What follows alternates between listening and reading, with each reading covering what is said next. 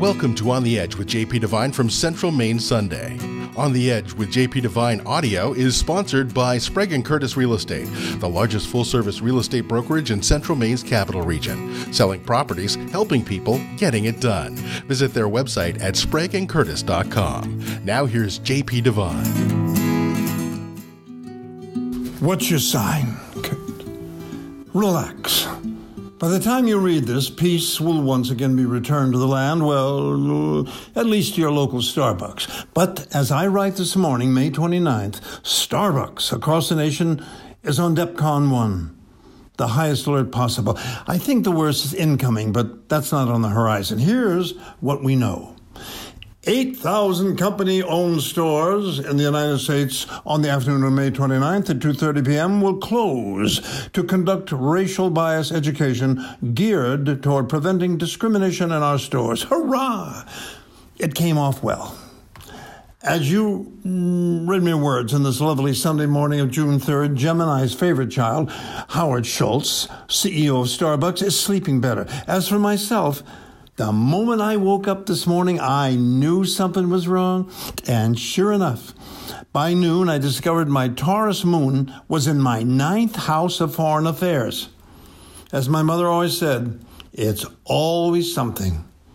My daily horoscope, which arrives via my email each morning, lists many curious things, none of which I fully understand, but have come to enjoy.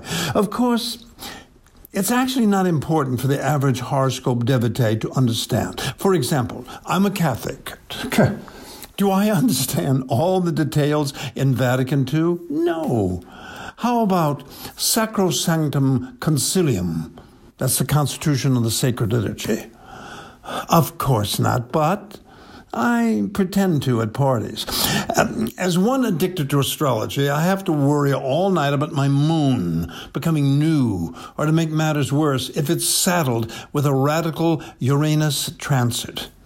You'll feel emotional about this, it says at the bottom of the page. I'm emotional about everything my columns, my book, my cooking, the latest chapter of Billions, and especially about Carrie on Homeland. I'm telling you, I'm so glad that show was off for the year. That girl has been driving me crazy. Crazy. I just know she's a Scorpio. Oh, she's not. She's an Aries. Van Gogh was an Aries. Why am I surprised? Emotional? I'm a Virgo. Virgos are extremely emotional. You would think the woman who writes this stuff would know that. Is she a summer replacement or something? Is my future in the hands of an intern? And that part about my ninth house of foreign affairs. I haven't had a foreign affair since I left Tokyo over 63 years ago.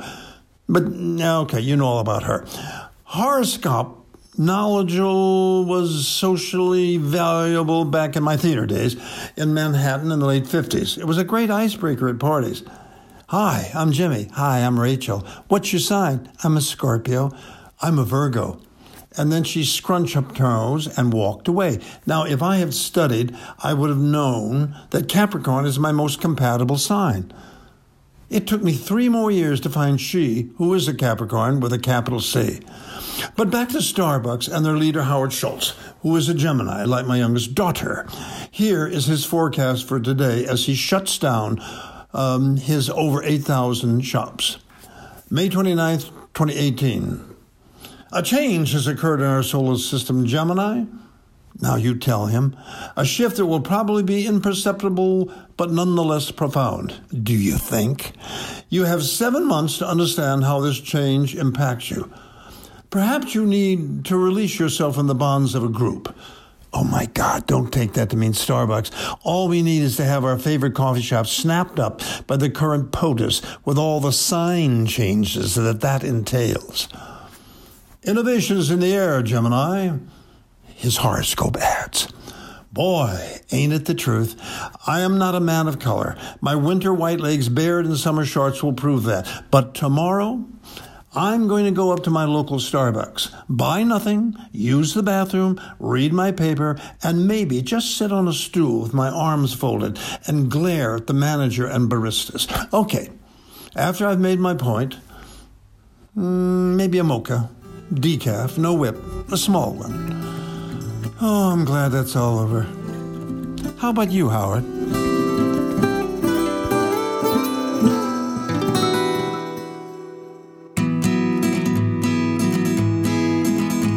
Thanks for listening to On the Edge with JP Devine from Central Maine Sunday.